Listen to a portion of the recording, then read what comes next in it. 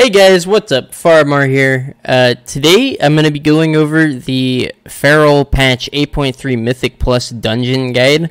Um, I'm going to go over everything you need to know as a Feral Druid to go into Mythic Plus and kick ass.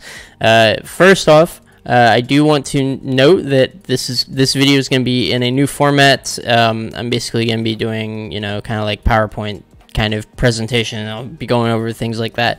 Um, if you guys do not like this style of guide, let me know. If you do like this style of guide, let me know. I read all the comments down below. If you have questions, if I did not clarify anything, feel free to ask below. I pretty much I, I respond to anybody that that has a respondable comment or question, essentially.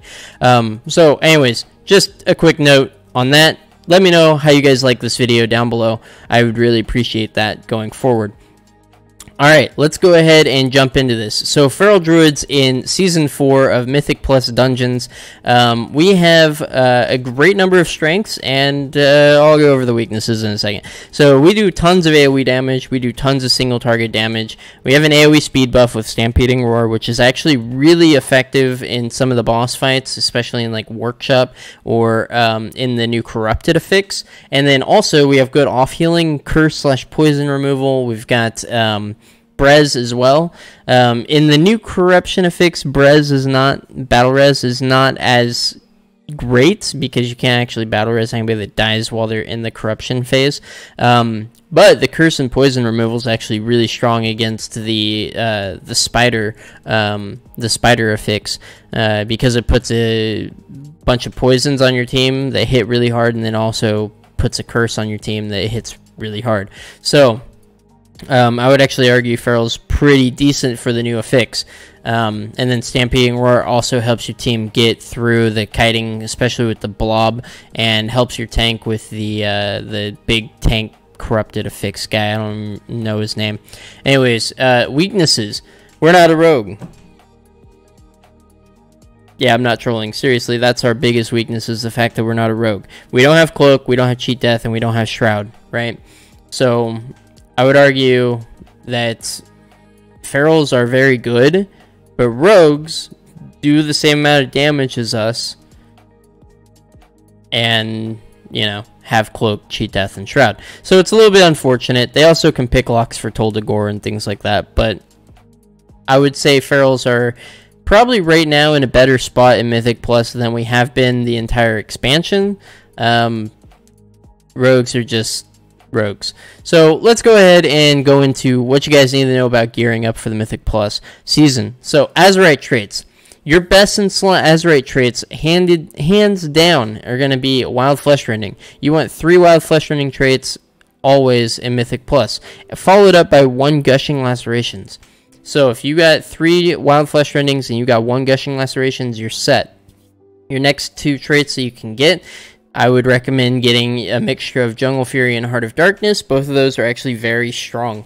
Um, so, yeah. But your main goal with Azerite traits is you're going to get the triple wild flesh rending and the one gushing lacerations. The reason the gushing lacerations is so strong is because in Mythic Plus you're usually, or you should be, running Primal Wrath, which is going to apply rips to everything in an AoE. So that's basically an extra 254 damage based on this tooltip here on my screen. Um, to everything around you every single time gushing laceration or every time rip ticks, right? So anyways, um, that's a pretty big boon there. Uh, next up, let's go into essences. Alright, so best in slot essence, uh, hands down, is going to be Blood of the Enemy rank 3. If you do not feel like farming up Blood of the Enemy rank 3, you have two other options here. If you have a team that is primarily AoE, right, and you guys need some boss damage, or it's Tyrannical Week, anything like that, Vision of Perfection is actually going to be a pretty good... Um, choice for any sort of tyrannical week where you need to do a bunch of boss damage and your team's already got all the AoE covered, right? Essence of the Focusing Iris is never a bad choice, pretty much for any class um, for Mythic Plus. Uh, it does a lot of AoE damage. Now, the thing that about of the Enemy is any pack that's going to last longer than 8 seconds, uh, the Enemy is actually going to do more damage overall than Focusing Iris. Um, and then Blood the Enemy also does incredible damage single target wise too. And Focusing Iris does not really do any damage to single target. Not notable damage to single target.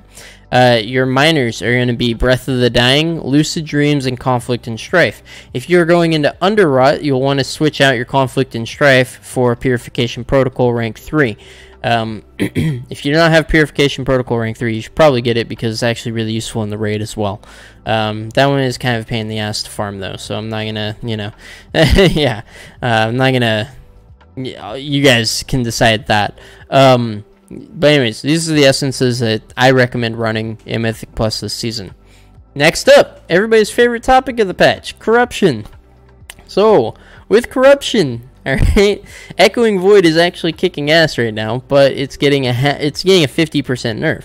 Um, so I don't know if it's really going to be as potent as it currently is. I think it's going to be strong still, but I don't think it's going to be absolutely amazing in every single situation, single target and AoE. Uh, Twilight Devastation is actually really good for AoE in Mythic Plus, and then Gushing Wounds is really good for both um, uh, AoE as well as single target. So I would recommend uh, picking up a Gushing Wounds. You have it, um, or Twilight Devastation. If you have Echoing Void already, feel free hammer away. It's pretty good corruption. I don't think it's going to be um, bad going forward. I think it's just going to be not as dominant. Um, your weapons, uh, so those corruptions are going to be for your gear. You know, the weapon corruptions are going to be your Anzig Vra and your Qwor N'lyeth. From the raid. Uh, of course, you can always get a chested or a mythic plus weapon that rolls corruption on there, but these are the strongest weapons as of right now. Uh, Anzig Vra is going to have the Devouring Vitality, which deals 2% of your health to a target. It does really good in AoE situations, and it also does really good in single target. In single target, it's probably going to do about 6 7% of your overall DPS.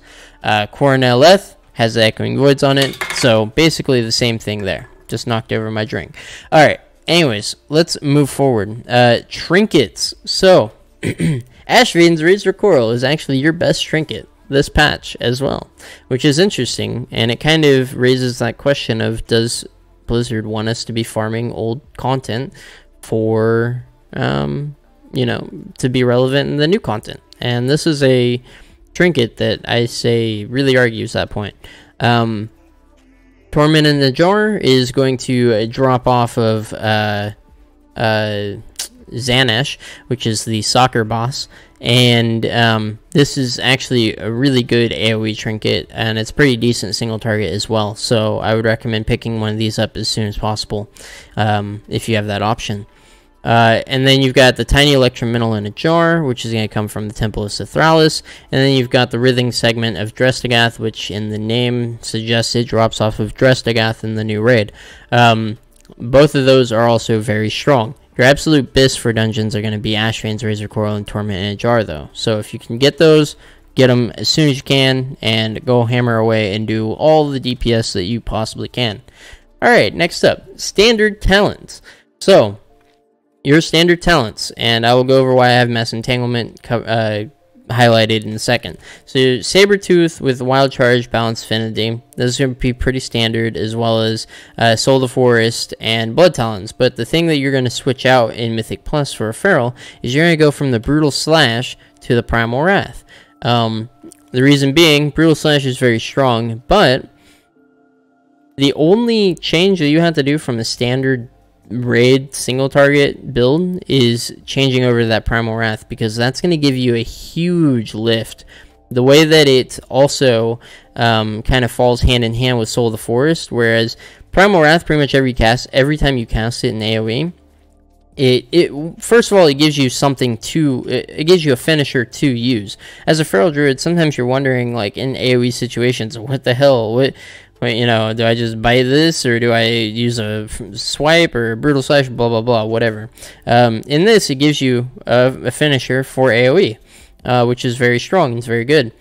Um, Soul of the Forest basically makes it free if you cast it at four or five combo points, and then um, Also, Solar Force buffs the damage of all the rips and all the upfront damage that Primal Wrath does in an AoE situation as well by 5%.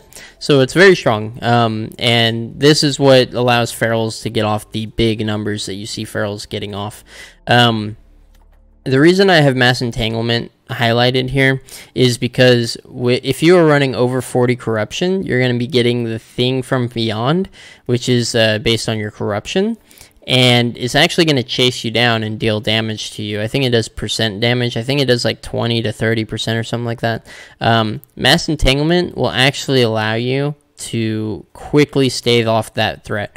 Um, so you can root it almost immediately. You can also use a mouse over macro on your roots if you want to use it with your predatory swiftness. It's very easy to handle a thing from beyond as feral druid, so I would recommend practicing that in Mythic Plus, maybe taking it into raid.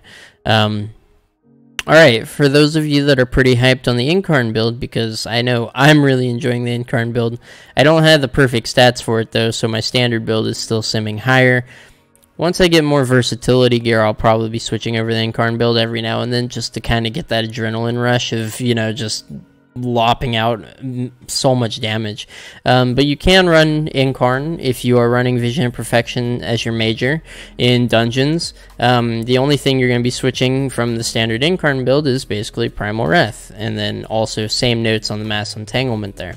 Um, so the Incarn build is very viable, especially on tyrannical weeks.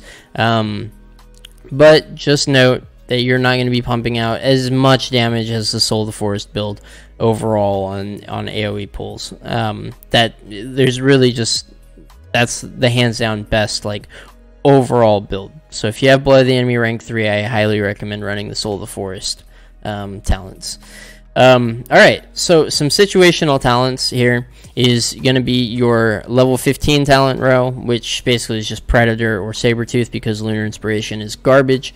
Predator is very strong. Um, and is actually uh, decent in AoE situations as well. You can almost keep up 100% um, uptime on your Tiger's Furies for all the AoE pools in dungeons, so definitely check that one out. And then Balance Affinity uh, versus Guardian and Resto Affinity. So, Guardian Affinity actually helps out. I noticed helps out tanks a lot during necrotic weeks specifically because you can taunt off and actually hold on to a mob for a, a good while as a guardian affinity druid.